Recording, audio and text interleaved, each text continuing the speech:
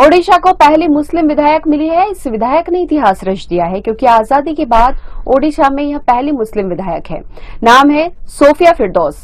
Sophia Firdous Odisha की बाराबती कटक की Congress seat से जीत दर्ज कर चर्चा में आई हैं। सोफिया ने बीजेपी के एक लोकप्रिय स्त्री रोग विशेषज्ञ पूर्णचंद्र महापात्रा को 8001 वोटों से हराया है।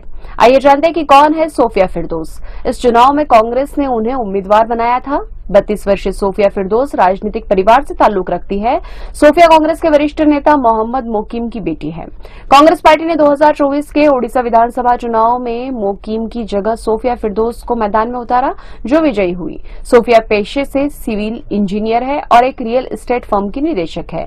उन्होंने दो हज़ार बाईस में Indian institute of management Bangalore से एग्जीक्यूटिव जनरल मैनेजमेंट प्रोग्राम भी पूरा किया।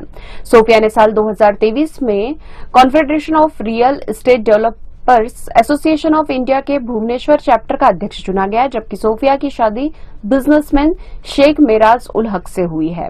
वहीं सोफिया फिरदोस, ओडिशा की पहली महिला मुख्यमंत्री नंदिनी सतपति के नक्शे कदम पर चलती है, जिन्होंने उन्नीस सौ बहत्तर में इसी विधानसभा क्षेत्र का प्रतिनिधित्व किया था। बता दें कि साल 2024 के ओडिशा विधानसभा चुनाव में बीजेपी ने एक सीटों में से अठहत्तर सीटें जीतकर बहुमत हासिल किया और राज्य में मुख्यमंत्री नवीन पटनायक और बीजू जनता दल के चौबीस साल के शासन को समाप्त कर दिया।